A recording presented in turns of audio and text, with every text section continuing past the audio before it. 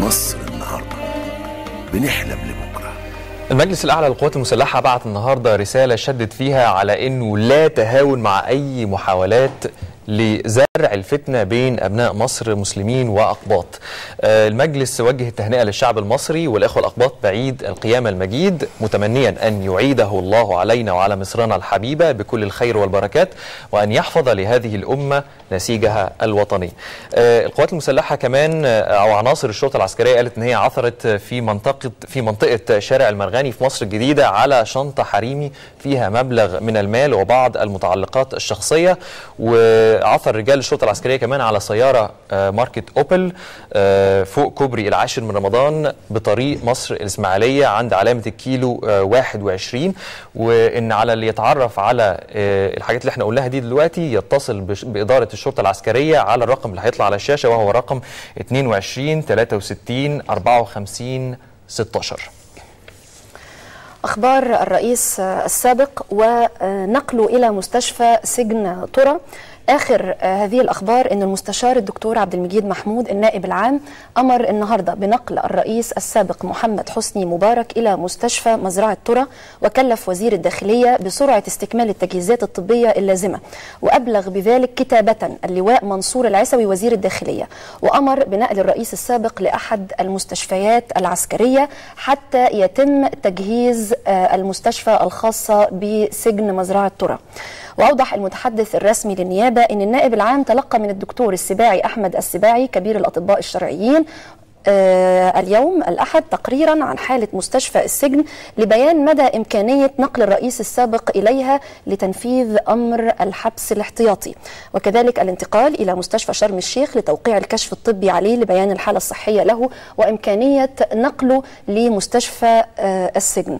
أفاد أيضا الدكتور السباعي أحمد السباعي للنائب العام أن مستشفى سجن ترى لا زالت تحت الإنشاء وأنها عبارة عن مجموعة غرف خالية تماما من الأجهزة الطبية وكذلك آه، إنه آه، لا زالت المستشفى تحتاج للمزيد من المستلزمات حتى يتم دخول الرئيس السابق لها.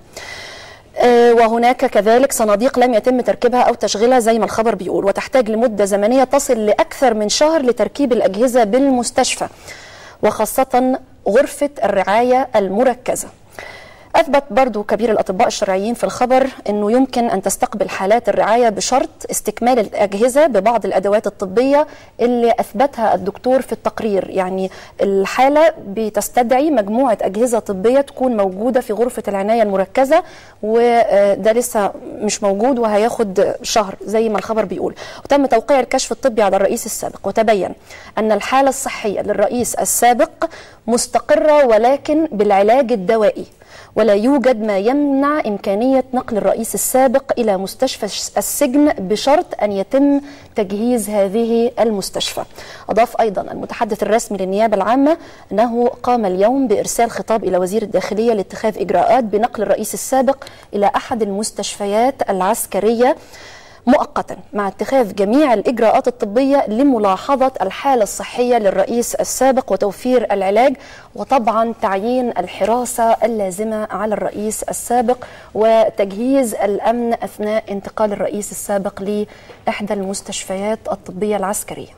فيما يتعلق بقى بما يختص بأفراد عائلة مبارك والتحقيقات الجارية مع أفراد عائلة مبارك كنا سمعنا خبر في اليومين اللي فاتوا عن ان جهاز الكسب غير مشروع آه، هيستدعي زوجتي علاء وجمال مبارك أمام جهاز الكسب غير مشروع للتحقيق معهما ولكن النهارده آه، أكد المستشار عاصم الجوهري رئيس جهاز الكسب غير مشروع النهارده أكد تأجيل الاستماع إلى أقوال هيدي هايدي راسخ وخديجة الجمال زوجتي علاء وجمال مبارك فيما يتعلق بتضخم ثروتيهما إلى الأسبوع المقبل لأسباب أمنية. مصادر مصر النهارده آه، أكدت إن في نوع من القلق الأمني من عدم السيطرة على الحالة الأمنية آه، أمام الجهاز في حال إنهم فعلا توجهوا يوم الثلاث اللي جاي زي ما كانت قال آه، لجهاز الكسب غير مشروع لأن آه، أعداد الناس اللي هتبقى واقفة هتبقى أضعاف أضعاف الناس اللي كانوا موجودين أثناء جلسات التحقيق مع عزمي والشريف. ولان زوجتي علاء وجم- وجمال مبارك كمان هم أول فردين من أسرة الرئيس السابق بيتم التحقيق معهم في وسط القاهرة بميعاد معلن على عكس مبارك اللي تم التحقيق معاه في مستشفى شرم الشيخ. طيب إحنا بعيدا عن الأخبار وصلنا آه، دلوقتي آه، بيان يعني يسمحوا لي هقراه لحضراتكم زي ما هو مكتوب. تمكنت الأجهزة الأمنية بمديرية أمن القاهرة من إحباط محاولة هروب لعدد من المسجونين المودعين بسجن الاستئناف دائرة مركز قسم شرطة الدرب الأحمر على ذمة قضايا وأحكام مختلفة وعديدة حيث قاموا بإحداث أعمال شغب داخل السجن ومحاولة لتحطيم أبواب السجن في محاولة منهم للهروب منهم.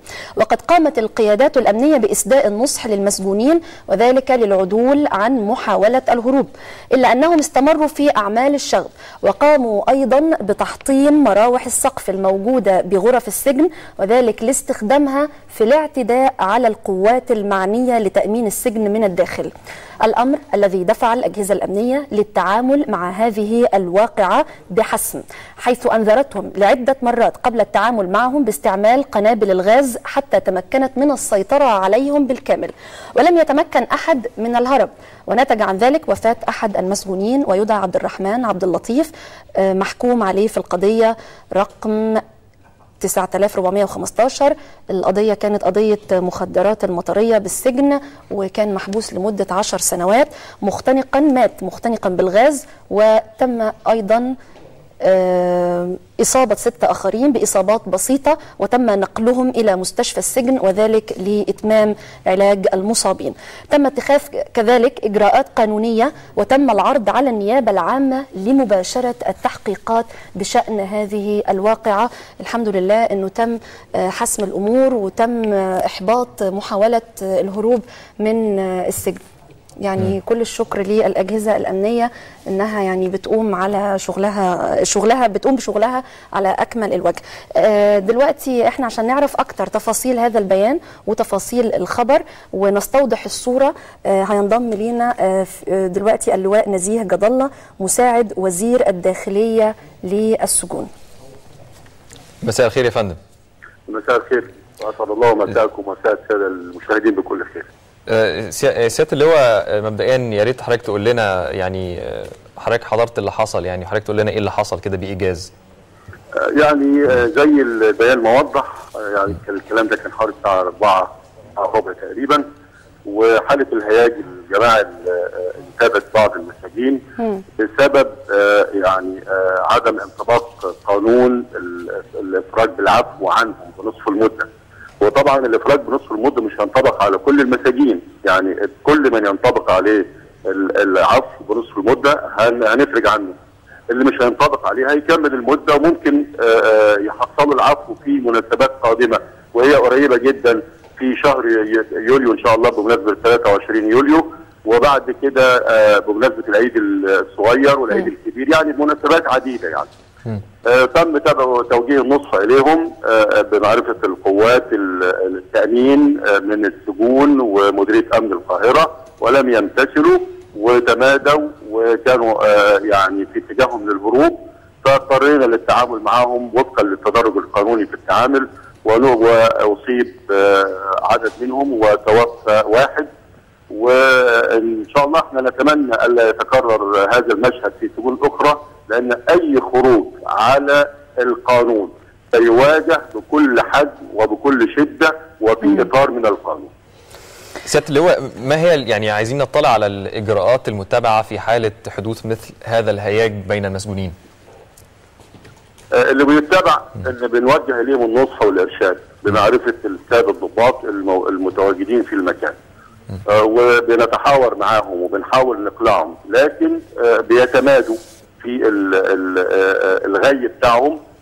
فبنضطر بعد كده إن إحنا نستخدم القنابل المسيلة للدموع في محاولة للسيطرة على الهياج الجماعي. ومحاولة السيطرة على تكسير الأبواب والزنازين والشبابيك علشان محاولة الهروب.